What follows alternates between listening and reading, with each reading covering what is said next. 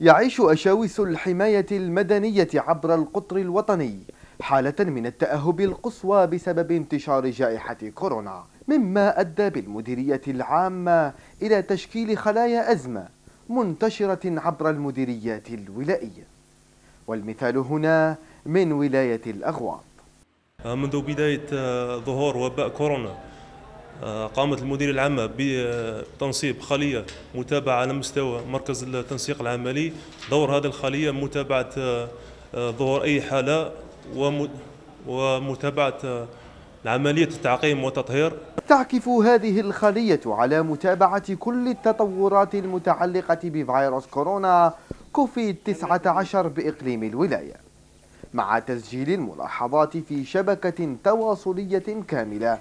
حيث يتم استقبال المكالمات بالخلية مع طرح أسئلة خاصة على المتصل المبلغ عن حالة مشتبه فيها. نعطيك واحد لي كيسيون نطرحهم عليك وجاوبني.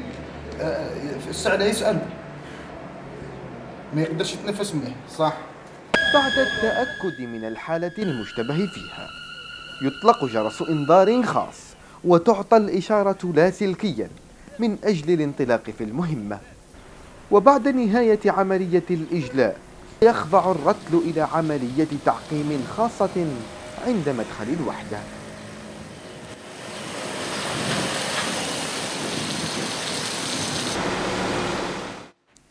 ليست السيارة فقط من تخضع للتحقيم بل كذلك الأعوان المشاركون في العملية يعقمون بشكل كامل.